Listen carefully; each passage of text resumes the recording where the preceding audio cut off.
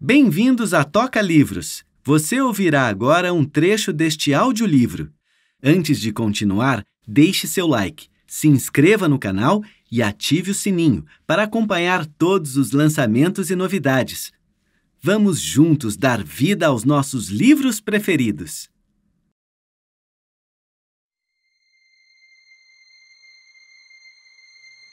Você sabe por que estou aqui.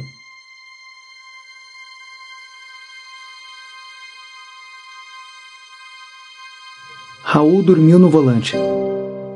Felizmente, o pior que lhe aconteceu foi um torcicolo por ficar por muito tempo na mesma posição, já que ele havia estacionado para tirar o seu cochilo.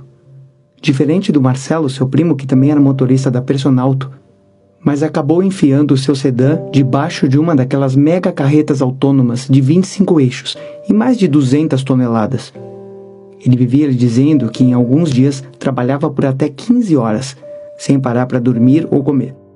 Nem sinto mais sono, tem que aproveitar esses dias quando uma corrida emenda na outra, dizia o primo, emendando um cigarro no outro.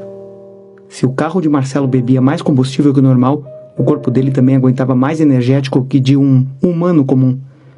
Raul pensava que ele acabaria com um AVC pelo conjunto da obra: cigarro, jornada de trabalho demasiada e excesso de energético. Mas morreu pela única coisa que achava não precisar: sono. Por isso que Raul desligava o aplicativo de motorista e dormia a cada sete ou oito horas de trabalho. Já havia emendado três dias de corridas, e quando seu cheiro se tornava insuportável, parava para tomar banho em motéis vagabundos ou postos de gasolina, já que os chamados de passageiros dificilmente o levavam para perto no extremo leste. Bocejou, desejando dormir mais.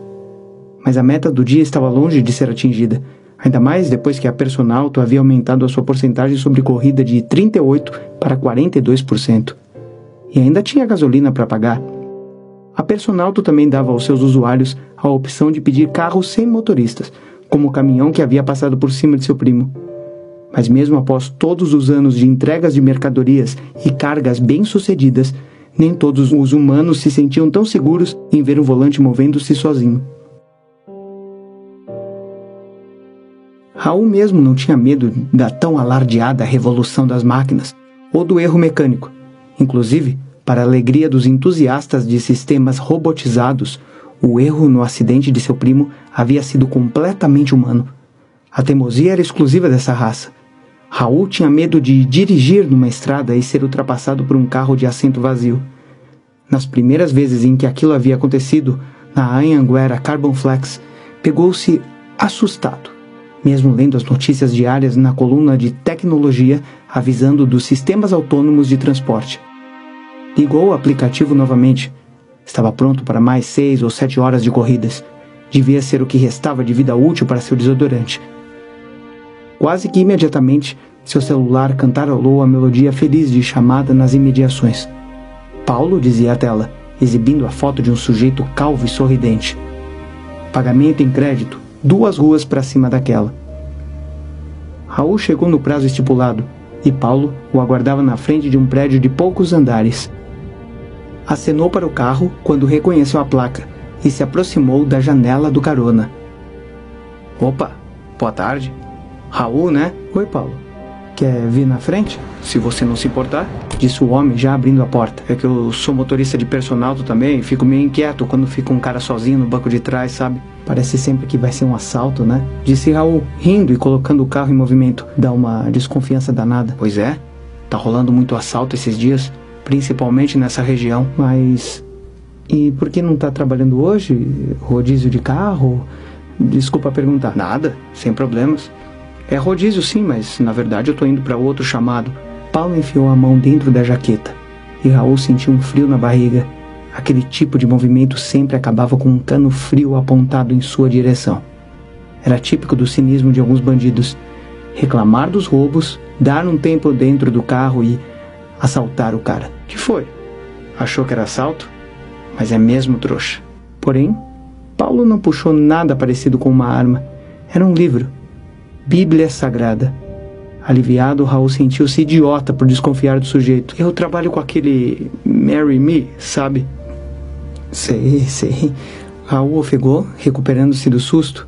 Sim, ele sabia que o Marry Me era um aplicativo que localizava chefes de cerimônias religiosas pelas redondezas. Só então percebeu que Paulo tinha um colarinho de padre. Você acha padre, pastor, rabino, o que precisar, né? Até xamãs e sacerdotes terraplanistas.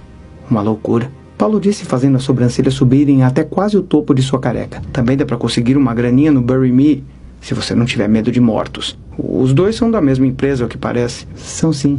E esse eu tenho aqui no celular, Raul disse. Faço de vez em quando, moro perto do cemitério da saudade e sempre pedem por lá. Eu deixo os dois aplicativos ligados, disse Padre Paulo, mostrando a tela do seu aparelho. O ícone do Marry Me eram duas alianças. Do aplicativo de coveiro, uma morte segurando a foice, em estilo cartoon. Bonitinho. Aí o que chamar primeiro eu atendo. Mas tem que ter a própria pá, né? É, alugar do cemitério sai caro, tá pela hora da morte. Raul olhou para o padre, esperando que ele risse, mas ele não havia entendido a piada. Paciência. Mas quando eu tô de personal, eu gosto de fazer aeroporto, continuou o padre motorista coveiro. Tem uma fila grande de espera, mas sempre dá para pegar umas corridas longas. Você faz Cumbica, Congonhas, Estação Marcos Pontes? Raul torceu o nariz. Nem sempre. Isso aí que você disse, filho e tal. Pois é, então. E ultimamente tem alguns filhos da puta, perdoa Jesus, que estão usando um aparelho, tipo um, um decoder, uma merdinha desse tamanho, ó, que derruba o sinal do celular de todo mundo. Aí você perde a internet, vai pro final da fila de espera e o pilantra vai pro topo da lista. Nossa. Raul se limitou a dizer com um sorriso frouxo: Isso existe mesmo? O sinal de internet móvel é tão difícil de bloquear hoje em dia. Ah, mas esses aparelhinhos são umas gambiarras das fortes. Dizem que corta até sinal de comunicação da polícia. Um perigo. Embaçado, hein? Ainda faltavam alguns quilômetros até o destino final do padre. O trânsito não estava tão ruim para carros andarem tão próximos uns dos outros, mas uma moto insistia em ficar na cola de Raul, sem ultrapassar e sem ganhar muita distância. A figura de capacete preto desaparecia e reaparecia no retrovisor, de maneira quase irritante, e não aproveitava as brechas que os carros davam para ela avançar. Não tem por que eu ficar preocupado, pensou o motorista, que naquele mesmo dia já havia se assustado com um sujeito bonachão sacando uma bíblia no paletó. Eu que estou ficando neurótico. Água? Ouviu Paulo dizer, o final de uma pergunta, arrancando-o de seus pensamentos. Desculpa, o que você disse? Raul perguntou, piscando rápido. Se você tem água aí, foi mal, eu sempre evito pedir se estou de passageiro, sei como é. É que bateu uma sede do caralho. É, digo, uma sede forte. Perdoa, Jesus. Claro, claro, sem erro. Pega aí no porta-luvas. Raul disse, percebendo tarde demais. Não, porta-luvas não. Quis dizer, atrás do seu banco. Padre Paulo ficou com a mão congelada, a meio caminho do compartimento e uma expressão indecifrável no seu rosto. Ergueu as duas mãos para o alto, à guisa de desculpas. Olha, eu não tenho nada a ver com o que você usa ou deixa de usar, sem julgamentos. Não julgueis para que não sejais julgados. Mateus, capítulo 7, versículo 1. Sim, sim. Desculpa, Paulo. É, Padre Paulo. Raul disse, aproveitando o semáforo vermelho para esticar-se e pegar uma garrafinha de água na bolsa térmica atrás de seu banco. Eu uso coisas para ficar acordado e trabalhar mais. Espero que você não me dê uma nota baixa, sabe como é. Jamais faria isso, filho, respondeu o outro aceitando a garrafa. Você só está buscando melhorar o seu desempenho no trabalho. Não há nada de mal nisso. Não ame o sono, senão você acabará ficando pobre. Fique desperto, terá alimento de sobra. Provérbios, capítulo 20, versículo 13. Raul agradeceu pelas palavras, mas em seu íntimo ele sabia. Claro que Paulo o julgava. Até um minuto atrás ele não estava chamando-o de filho, nem recitando passagens da Bíblia. Era só um cara comum, trabalhando como qualquer outro cidadão do país e conversando sobre coisas do dia a dia. E agora ele se achava no direito de sentir-se superior, de exercer sua função de guiar almas perdidas para a luz. E ainda por cima estava tomando uma água, que não era a coisa mais barata do mundo. Só faltava pedir umas balinhas antes de descer. Ah, aí eu mando a merda, dane-se a minha nota de avaliação. Você chegou ao seu destino?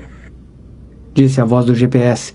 Opa, então é isso, disse Paulo, lhe estendendo a mão, que não segurava a Bíblia. Bom trabalho, amigo.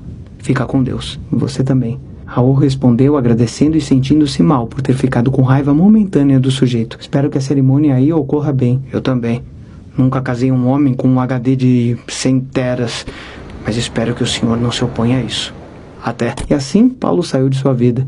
Como todos os outros milhares de passageiros que sentavam-se ali, compartilhavam as suas histórias por alguns quilômetros e então seguiam seus rumos para nunca mais cruzarem o de Raul. Apenas mais um dia de trabalho. Voltou a atenção para a tela do celular, esperando o aplicativo apitar um novo chamado, quando alguém bateu no vidro de sua janela. Raul olhou para o lado e deu de cara com um cano de revólver. Teu vidro não é blindado. Abre a porta, disse a voz abafada pelo capacete preto. Vestia uma roupa de motoqueiro de couro. Raul praguejou contra si mesmo por não acreditar em seus instintos e destravou a porta. O assaltante deu a volta pela frente. Gostou do trecho do audiolivro?